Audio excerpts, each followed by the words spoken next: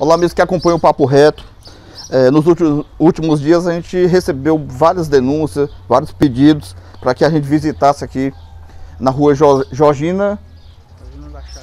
das Chagas, no bairro Pedra Branca. Posto de Saúde, Secretaria de Saúde do município. É, conversei em off com a enfermeira aqui do Posto de Saúde.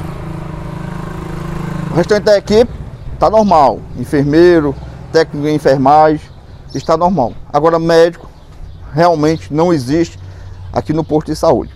Conversando em off com a enfermeira, ela me garantiu que o calendário previsto para o dia 19 é de o médico estar aqui no posto de saúde.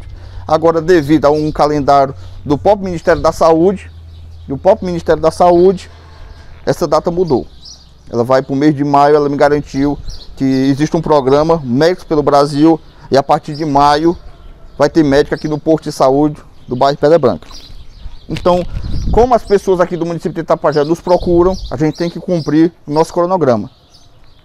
Hoje pela manhã, hoje é sexta-feira, 16 de abril de 2021, e viemos até aqui o posto de saúde. As equipes, o restante da equipe está completa. O médico é, não, no momento não tem, durante esses meses todos não teve médico.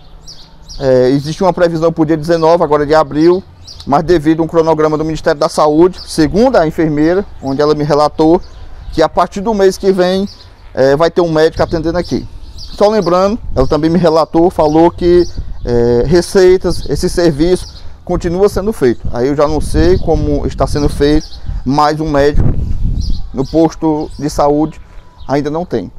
Então, você que tem alguma denúncia, você que tem alguma indagação sobre o município, é, de alguma área específica, entre em contato com a nossa parte, Diário de Itapajé, notícia em primeira mão.